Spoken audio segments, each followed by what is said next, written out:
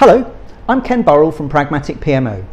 If you're a project manager and you've ever thought to yourself at the end of a project, if I'd known then what I know now, I'd have done things differently, then you'll appreciate that everything seems clearer and easier with hindsight.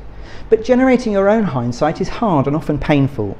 George Bernard Shaw said, If history repeats itself and the unexpected always happens, how incapable man must be of learning from experience.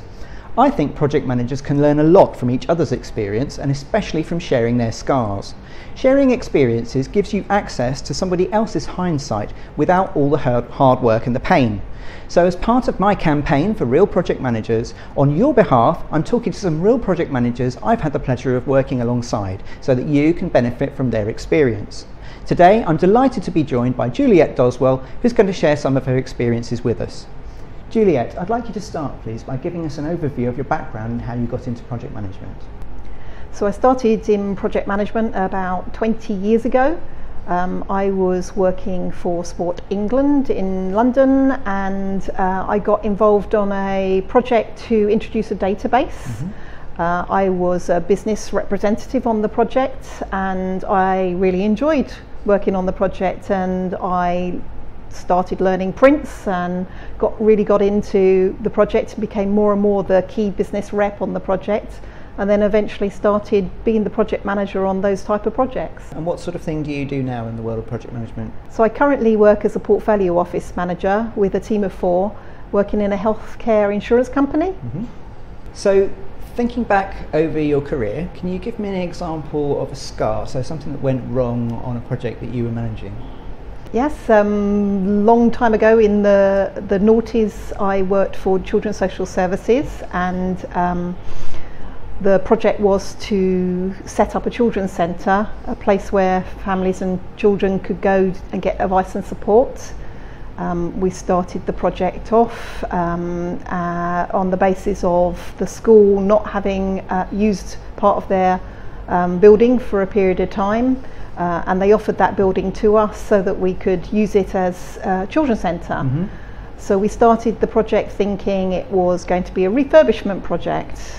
Got uh, a contract uh, consultancy in who were specialists in construction, purchased a uh, feasibility study to find out how we might go about it, not having any experience of construction projects at all.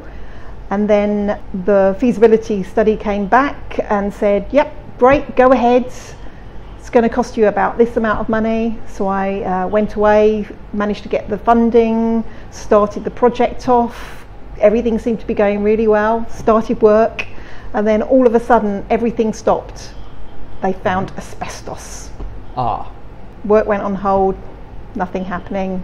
Had to commission a second feasibility study, this right. time spent a bit more money on it and it came back saying that it was no longer feasible to do a refurbishment project. It was no no longer value for money. Right so you had a second feasibility st- study done in the knowledge that there was asbestos in the building now. Okay. Not not possible to refurbish. Right. Much much cheaper to actually demolish the building. Oh wow. And put something else in. Okay. So the project changed completely um, and we went through the options of rebuild, uh, and the only affordable option for us was a modular build. So the project changed completely from being a refurbishment project to a complete demolish and rebuild situation. Obviously, a lot more expensive than we set out. Okay, and did the project carry on to completion? So everything started progressing really well after that. We okay. cleared the site, we laid the foundations, we designed everything, uh, the modules came in, they were connected together, the furniture arrived, and then we had to uh, have a building regulations inspection and a disability um, discrimination act inspection. Right. Uh, the building regulations went fine, uh, disability uh, discrimination act, uh, no. Right. We failed. Okay. What last, the problem? Last minute changes, things that we didn't design in, despite having had advice on how to do it. Oh, right. Um, and so some very last minute changes and additional cost. All right, so did the project com- complete though? Did it? it did, it did. It was successful. Um, it actually did come in within budget, not the first budget, but the second budget. So, reflecting on that experience, then, um, what advice would you give to other people if they find themselves in a situation like that, or to avoid getting themselves into a situation like that? So what I learnt was that a feasibility study doesn't ensure that you're not going to come up with something that you weren't expecting.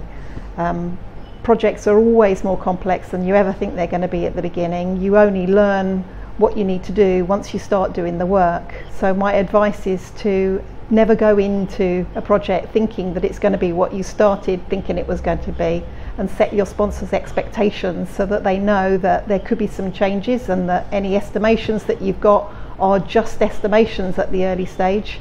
Just make sure that there's some contingency in there for things changing over time. Anything else? So the second lesson is that regulation isn't black and white.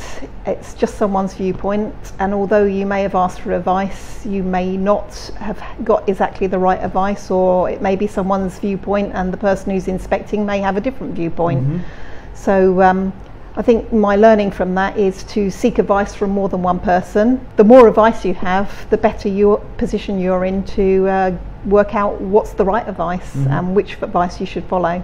Juliet, thanks for your time, your openness, and your insights. So, today we've heard from Juliet about how she recovered from something that went wrong on a project and what she learned from it. Mark Twain said, History doesn't repeat itself, but sometimes it rhymes. To me, that means that although the future is never exactly like the past, it's often similar enough for the lessons of the past to be useful. So, my challenge to you is what will you learn from this? What will you do differently on your project as a result of Juliet's experience? Let me know in the comments. If you enjoyed this video, let me know by leaving a comment or a like or both or sharing it with others on social media. If enough people think these videos are worthwhile, then I'll make more of them. If you want to share your scars in one, let me know. For other videos on project management topics, take a look at my video channel. For articles on project management and PMO topics, visit my website pragmaticpmo.com or follow me on Twitter at pragmaticpmo. To connect with me more personally, search LinkedIn for Ken Burrell Pragmatic PMO. In the meantime, until the next time, thanks for watching.